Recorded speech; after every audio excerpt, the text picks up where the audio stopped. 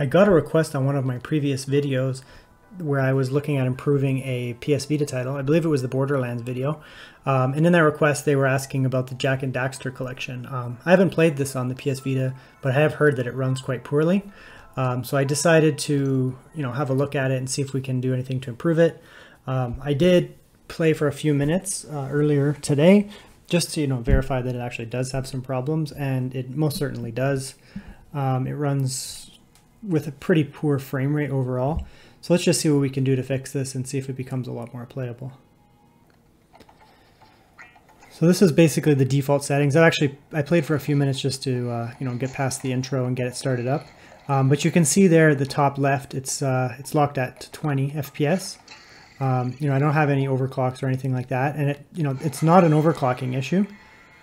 So you know if I set these higher, the, the uh, GPU and the CPU, um, it doesn't make a difference. You can see there, it actually doesn't make a difference. Um, so we'll just load up. I just played for a moment just so we don't have to watch the intro, like I said.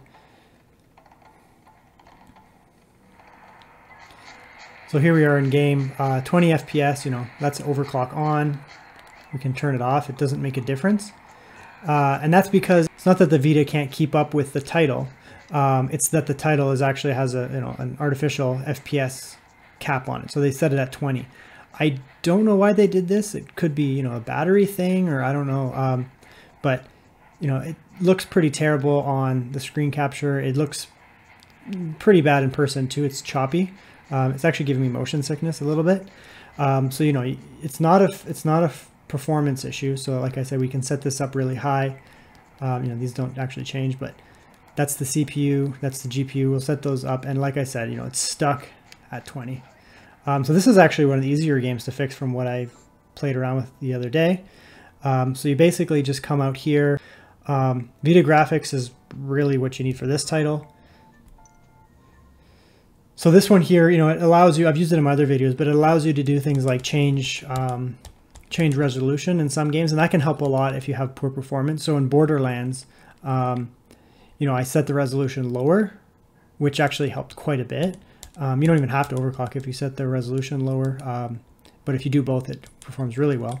But let's go over here and we'll look at Jak and Daxter. Uh, so that was the first game. You, so you come in here and you go to FPS cap. So right now, you know, the default is off. You can set it to 20. You can set it to 30. Um, I would personally just set it to 30. Um, let's have a look at that and see how it looks. Um, you know, you can definitely set it at 60 if you want, but let's try 30 first and we'll see how it works.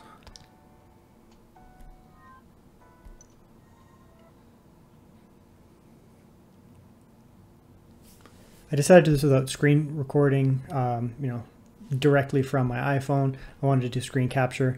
Uh, it looks a little bit different. You know, you're not going to get the exact performance you'll get, you know, on the eye from the Vita itself, but the screen capture is, uh, it's pretty good. Like for example, you see some aliasing here on the screen capture, but you can't really see that in person. All right, so we're set at max 30. Let's see if we even need an overclock here. I, you know, we'll turn that all off. And we're set at 30. And let's see if we can maintain 30. Already it looks substantially smoother. Uh, it looks good on the video. Uh, it looks way better to me. I'm not getting like, immediately motion sick. Um, it, it was very choppy before. So, you know, it looks like we're able to maintain a nice smooth 30 here. Oh, that's another save, okay. Okay, and just as a kind of proof of concept, here it is uh, with those same settings, but on the actual handheld. Um, you know, it, doing screen capture is nice. It does help, you know, in some ways get rid of glare and things like that. But for a console like the PS Vita, unless you're doing like a Let's Play or something, um, it's not actually really in, indicative of what you're actually seeing. Um, you know, 30 FPS on that screen capture doesn't look that great. Um, you know, there's input lag and just, you know, the resolution and everything, but actually on the device itself, 30 FPS looks really, really nice actually. So this looks, um, it actually looks marvelous to be honest. This is, um, you know, much more what you're actually going to see in person. So I like to do both. Um, I did get, you know, I got a lot of people were bothering me when I was doing just, you know, external device capture like I'm doing right now for PS Vita and for the Switch. Um, but really, I mean, it's a handheld device and that's what you see. But you can see here that, you know, externally when it's actually playing on the Vita itself, it looks really, really nice um, with this 30 FPS cap here.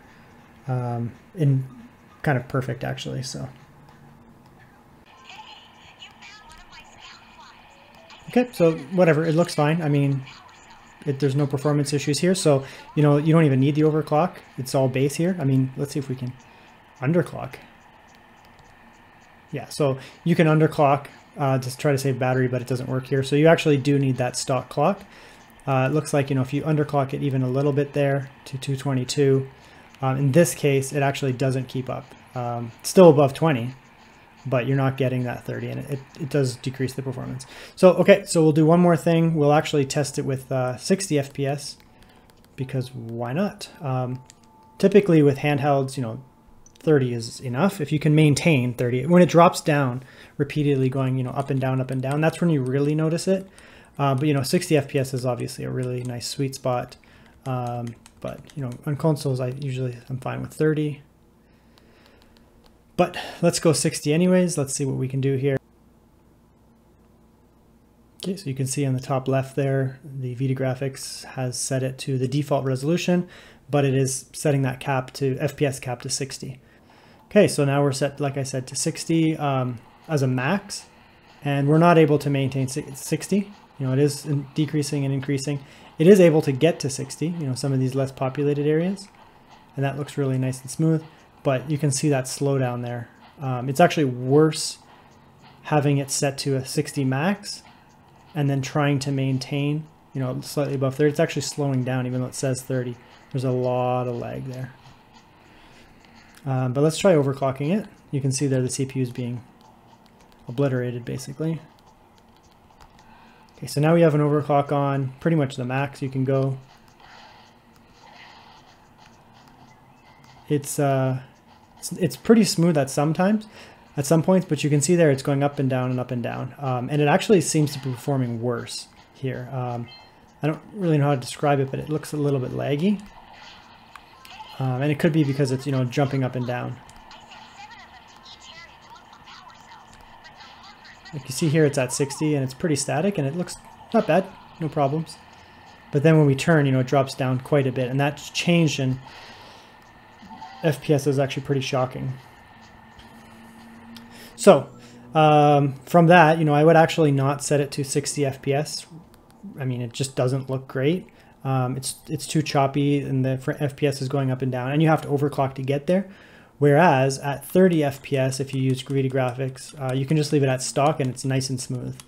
Um, however, we'll try one more thing just to see what it does because I'm curious now. Um, let's uh, let's change the resolution. I believe that's the native. Uh, so we'll just set it a little bit lower. I'm just curious to see what it will do. There you can see we're at 60 FPS, but we have a different resolution. Okay, so here we are in game. Uh, we have a lower resolution. Um, we dropped the resolution a bit, and we left the frame cap, frame limit cap at 60. Um, you know, it's smooth over there, but it's still dropping down. So you can see there, know, when you go to these more populated areas, there's a, a drop. And it's often that change in FPS that really is shocking. So, you know, personally, I wouldn't play it this way. Um, I don't really like the way that it looks. I would personally set it, um, you know, use, use VitaGrafix. You don't even need an overclock this way. So you're not going to compromise any battery life. But what I would do personally is come in here and set the, you know, leave the resolution at default but then I would set the frame limit, uh, frame cap limit to just 30. So leave that as default, uh, which is off. Go like that, set that to 30. And you know, a lot of people are always shooting for that 60 FPS, but in a lot of titles, it's actually not required, especially on handheld. You know, if you're on a big screen, um, you know, action-packed games, 60 FPS is really nice. Um, but you know, a lot of consoles, home consoles set to 30 as you know, they just lock it to 30 um, and especially for handhelds, it's it's really not going to make a big difference. It's all about consistency, where you're not fluctuating up and down, and that's where you really notice that it's playing smoothly. Okay, so here we are back one more time, and you can see here, you know, it's it's stuck at 30. Um, it's just generally a lot smoother. There's no drop. You can see there it's nice and consistent. And when you have that consistent frame rate, you know, you're stuck at 30, it's nice and consistent. It doesn't really take away from the game. It's much, really much more playable. Um, so this one's actually an easy fix. You know, you don't need to play around with overclocking settings. You know, I have them turned on. You can turn them all off. Um, you know, maybe if you get to a really dense area, it might drop down quite a bit. I haven't got that far in the game. You know, you can always set this up here. But from what I'm seeing, you know, we're maintaining 30 no problem at this resolution, which is the default resolution, and it's nice and smooth. Um, so, you know, that's an easy fix. All you need for this title basically is VitaGrafix, and you're good to go.